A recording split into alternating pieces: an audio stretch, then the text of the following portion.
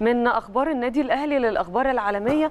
وفي خبر مهم جدا بقى ويهم كل عشاق النادي الأهلي وإن شاء الله يا رب الأهلي يكسب دوري الأبطال ويشارك بعدها في كأس العالم للأندية الاتحاد الدولي لكرة القدم فيفا. النهارده بيعلن بطولة كأس العالم للأندية السنة اللي جاية بدون ما تتأجل ولا تتلغى. النهارده الفيفا كان له بيان مهم. قال إنه قطر هتستضيف كأس العالم للأندية وكان طبعا ليها يعني كان في وقت طبعا سابق مقرر ليه إنها تتلعب آه يعني الدورة إنها دي. اتلغت إنها اتلغت أو هتتأجل. لا. خلاص النهارده إن شاء الله 1 11 و1 فبراير إن من شاء 1 الله. فبراير ل 11 إن شاء الله اللي جاي. طبعا وسط إجراءات احترازية زي ما كلنا عارفين مشددة جدا بسبب فيروس كورونا.